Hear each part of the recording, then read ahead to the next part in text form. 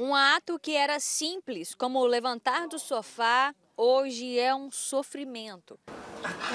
Para levantar tem que firmar bem para dar o primeiro passo, porque senão, se cair já era, né? Ana Lúcia tem 65 anos e sofre há seis anos com a artrose, que é uma doença degenerativa que afeta as cartilagens dos dois joelhos dela. Com o desgaste dessa cartilagem, o atrito entre os ossos aumenta. E isso vai provocando deformações, dores e até impossibilitando a mobilidade. E por isso que ela teve que mudar de cidade. Estou aqui porque eu não consegui morar mais sozinha. Não conseguia ir em supermercado, não conseguia é, fazer o serviço de casa. Ana precisa fazer uma cirurgia para colocar próteses nos dois joelhos, mas a vaga para o procedimento pelo SUS nunca sai. A espera já dura três anos e meio. Encaminharam para fazer a cirurgia, né? Foi feito, foi, inclusive foi feito até lá em Curitiba, eu fiz todos os exames de laboratório para fazer. Mas aí o que, que acontece? Fica na fila esperando e não chamam, né? Tem uma senhora aqui no prédio que ela trabalha na área de saúde.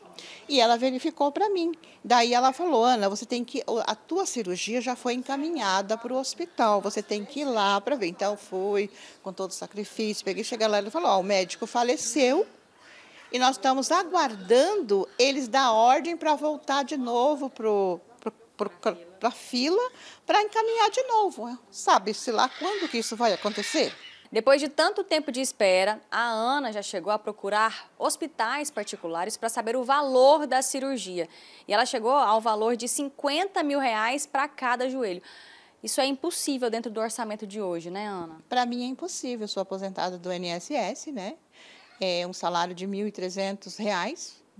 Então, tem como fazer, pagar uma cirurgia dessa. Ana atuou como chefe de cozinha por 30 anos. É uma paixão que ela sonha em voltar a viver.